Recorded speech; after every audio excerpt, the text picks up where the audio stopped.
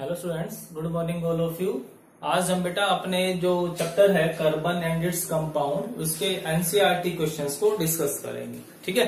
तो जो हमारे पास जो एनसीईआरटी क्वेश्चन है, उसमें फ़र्स्ट क्वेश्चन है what would be the electron dot structure of carbon dioxide and what has the formula तो जो कार्बन डाइऑक्साइड है, ठीक है?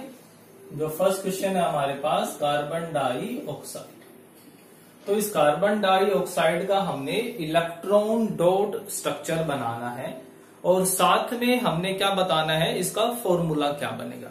ठीक है? तो अब कार्बन भी है और ऑक्सीजन भी है। ठीक है? तो कार्बन के इलेक्ट्रॉन डॉट स्ट्रक्चर आप बनाओगे one two three four carbon के आउटर मोस्ट में फोर इलेक्ट्रॉन होते हैं ना कार्बन का एटॉमिक नंबर सिक्स होता है तो टू फोर आउटर मोस्ट में कितने इलेक्ट्रॉन हो गए? फोर हो गए। तो हमने फोर इलेक्ट्रॉन्स लगा दिए। अब दूसरा ऑक्सीजन है। ऑक्सीजन का एटॉमिक नंबर एट होता है तो कॉन्फिग्रेशन हो गया टू सिक्स आउटर मोस्ट में कितने इलेक्ट्रॉन हो गए? सिक्स हो गए। One two three four five six अब ऑक्सीजन के पास छह इलेक्ट्रॉन है। सिर्फ़ कितने इलेक्ट्रॉन चाहिए? दो चाहिए।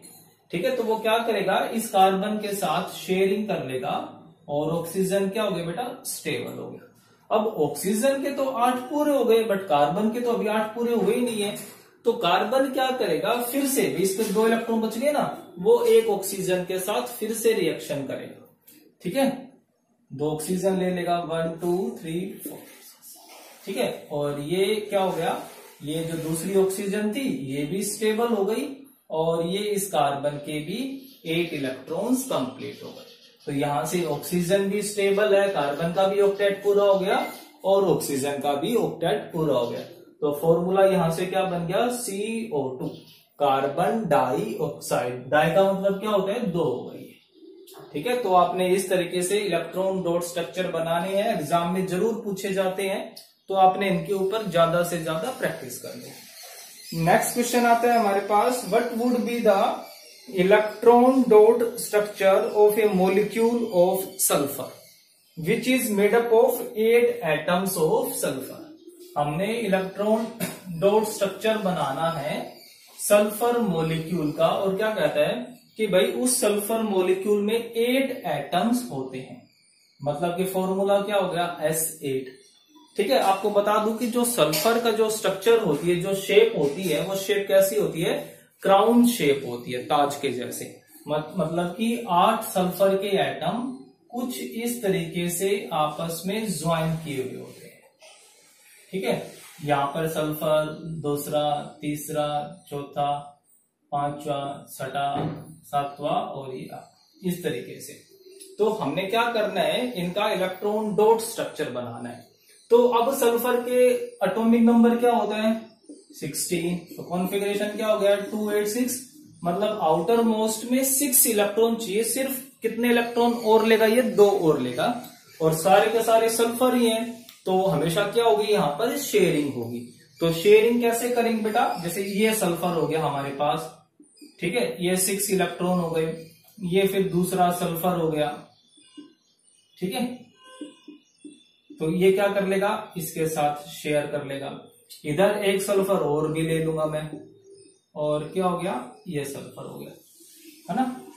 तो इस तरीके से इसके आठ पूरे हो गए। है ना काउंट कर सकते हो? भाई ये जो इलेक्ट्रॉन था, वो बीच में लिख लो इनके। जो शेयरिंग का इलेक्ट्रॉन था, वो बीच में आ गया। तो इसके कितने हो गए? One two three four five six seven eight अब ऐसे ही क्या आ जाएगा बेटा? हमारे पास दूसरा सल्फ़र ले लेंगे।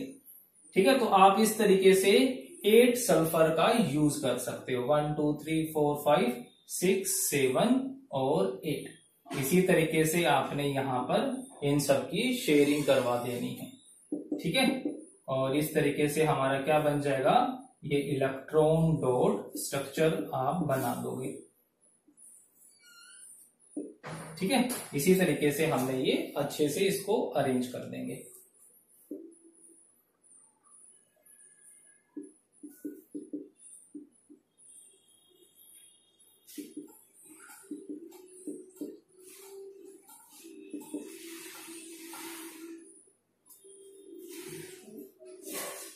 ये क्या हो जाएगा हमारे पास? ये पूरा का पूरा एक तैयार हो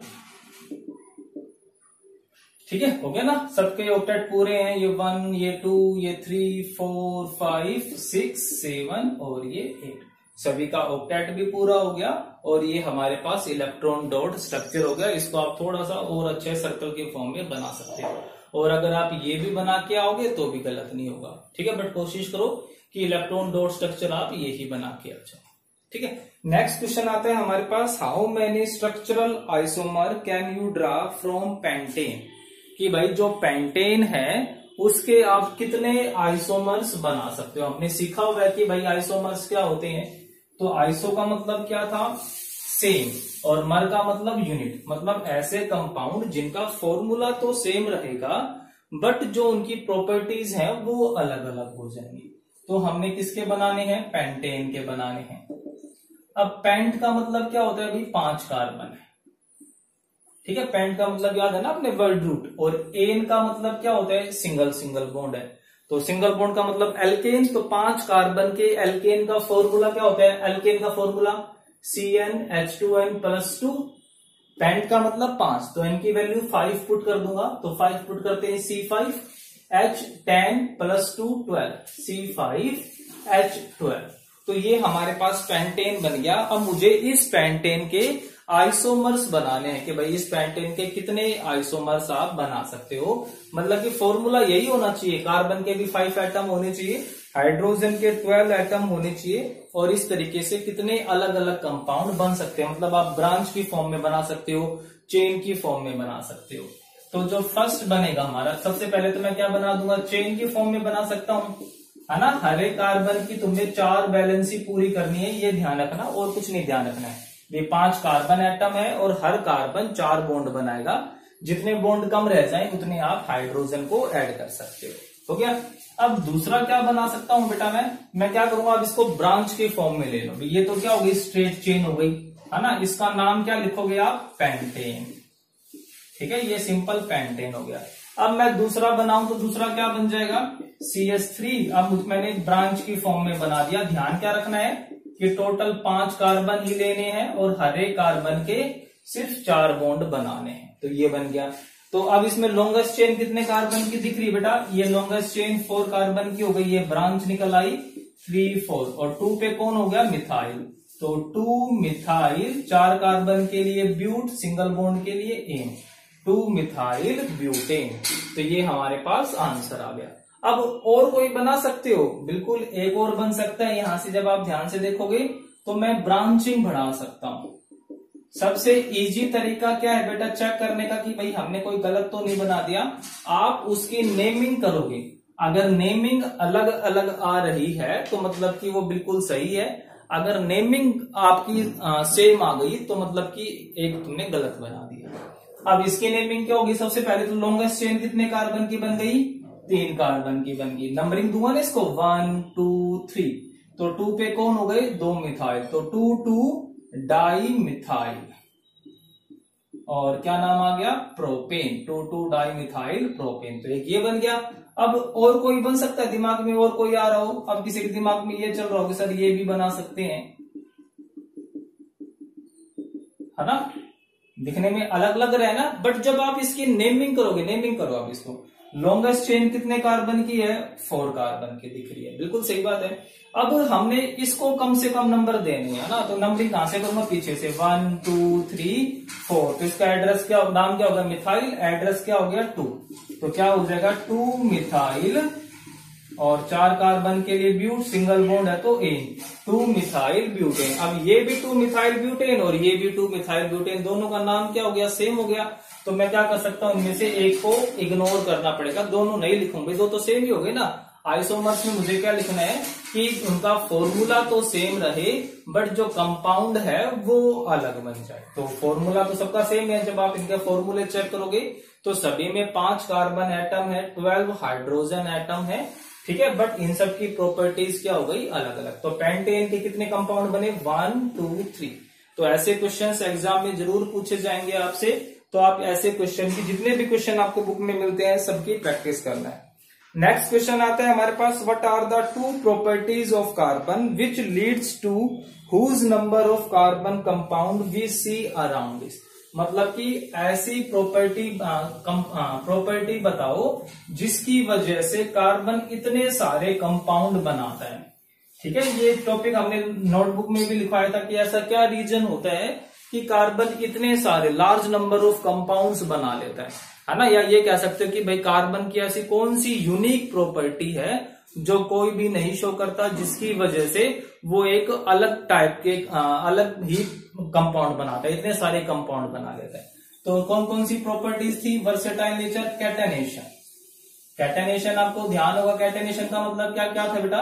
तो पहले तो अगर मैं प्रॉपर्टी की बात करूँ तो प्रॉपर्टी कौन कौन सी हो सकती है? कैटेनेशन हो सकता है। मल्टीपल बॉन्डिंग हो सकता है कि भाई इसकी प्रॉपर्टी है कि ये बहुत सारे बॉन्ड बना सकता है ना?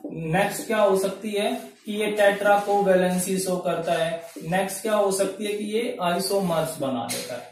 तो ये जो चार प्रॉपर्टी है, ये चार प्रॉपर्टी रिस्पॉन्सिबल होती है कि जो कार्बन है वो इतने सारे, इतने ज़्यादा कंपाउंड बनाता है। तो पहली प्रॉपर्टी कैटेनेशन कैटेनेशन का मतलब क्या होगा? टेंडेंसी टू फॉर्म या tendency to link with it खुद के साथ ही जुड़ना। और इस प्रॉपर्टी की वजह से वो बहुत सारे कंपाउंड बनाता है। मतलब कि वो चेन की फॉर्म बना सकता है, वो ब्रांच फॉर्म बना सकता है, वो रिंग की फॉर्म भी बना सकता है। किसकी वजह से? कैटेनेशन मल्टीपल बॉन्डिंग का मतलब क्या होगा? कि कार्बन एक ऐसा एटम है जिसकी यूनिक प्रॉपर्टी है। वो खुद के साथ सिंगल बॉन्ड बनाए डबल बनाए ट्रिपल बनाए, हर टाइप के बॉन्ड में खुश है। हर टाइप के बॉन्ड में स्टेबल होता है वो। वो दूसरे एटम के साथ भी ऐसा करता है, वो दूसरे के साथ सिंगल बॉन्ड भी बना सकता है डबल में भी बना सकता है और ट्रिपल बॉन्ड में भी इजीली एग्जिस्ट करता है। तो इसकी वजह से जो नंबर ऑफ़ कंपाउंड्स है, वो बहुत ज़्यादा हो जाते हैं। नेक्स्ट है टेट्राकोवैलेंसी कि जो कार्बन है, उसकी वैलेंसी फोर होती है मतलब वो चार बॉन्ड बनाता है। अब वो जब चार बॉन्ड बनाएगा तो जब चारों एटम एक जैसे हो जाए, या जब चारों एटम्स अलग अलग हो, या कोई एक दो एटम अलग हो जाए तो इस तरीके से क्या होगा नेक्स्ट है हमारे पास आइसोमेरिज्म की जो कार्बन है कार्बन कंपाउंड है, वो आइसोमर्स बनाते हैं। और इस आइसोमर की वजह से जो नंबर ऑफ़ कंपाउंड है, वो बढ़ जाते हैं ना। अभी हमने देखा कि जो हमने लास्ट क्वेश्चन किया था पेंटेन वाला। अब पेंटेन है तो एक कंपाउंड है ना, एक ही फॉर्मूला है C five H twelve but उसके बहुत सारे कंपाउंड बन जाते हैं। तो वो सारी चीज़ यहाँ पर कह रहा है। ठीक है बेटा? तो जो हमारे पास नेक्स्ट क्वेश्चन है, वो कहता है कि what will be the formula and electron dot structure of cyclopentane कि जो हमारे पास साइक्लोपेंटेन है, हमने उसका स्ट्रक्चर बनाना है। ठीक है? जो फिफ्थ क्वेश्चन है हमारे पास साइक्लोपेंटेन अब जो साइक्लोपेंटेन है साइकिल की फॉर्म में हो गई ना, अब साइकिल का फॉर्मूला क्या होता है? जो साइकिल्स थे, उनका फॉर्मूला एल्कीन के जैसा होता है। C N H two N ये हमने सीखा हुआ है। पेंट का मतलब क्या हो गया कि एन की वैल्यू हमने फाइव पुट करनी है। पुट करो। तो कार्बन सी एन है तो सी फाइव हो गया। और H two N two N two five कितना हो गया ये? Ten C five H ten हो गया। हो गया? तो ये फॉर्मूला आ गया हमारे पास साइक्लोपेंटेन का। अब क्या कहता है कि अब हमें इसका इलेक्ट्रॉन डॉट स्ट्रक्चर बनाना है। साइकिल की फॉर्म आपने अच्छे से सीखी हुई है ये हो गई साइकिल फॉर्म ठीक है? अब हाइड्रोजन लगाने, हरे कार्बन ने दो तो बोन्ड बनाए लिए तो दो कौन हो जाएँगे? हाइड्रोजन हो जाएँगे। तो ये हो गया हमारे पास। मैंने कहा था ना कि आप ऐसे स्ट्रक्चर भी बना के आ सकते हो, गलत नहीं होगा। और अगर आपने दूसरे तरीके से बनाना है मतलब इलेक्ट्रॉन डॉट ही बनाना है तो क्या करोगे? जैसे एक बॉन्ड है, इस एक बॉन्ड में कितने इलेक्ट्रॉन होते हैं? दो। आप ऐसे दिखा दो। तो ये भी क्या होगा? बिल्कुल ठीक होगा। आप ऐसे बिल्कुल बना के आ सकते हो। ये तो तुमने क्या करने हैं? हर एक बॉन्ड की जगह ये दो इलेक्ट्रॉन शो करने हैं। ठीक है? तो ये क्या हो जाएगा? Electron dot structure of cyclopentane तो ये हो गया हमारे पास, ठीक है? बन गया ये हमारे पास। और फॉर्मूला क्या होगा बेटा? सी फाइव एच टेन तो ये यहाँ पर हमारे फाइव क्वेश्चन हो गए हैं। जो नेक्स्ट क्वेश्चन है, वो हम अपने नेक्स्ट वीडियो में डिस्कस करेंगे। तब तक आप भी अपने आप से क्वेश्चन को स्टडी करोगे, ठीक है? जितने भी क्वेश्चन और कोई भी हार्ड लगता है तो आप मुझे वो सेंड कर सकते ओके थैंक यू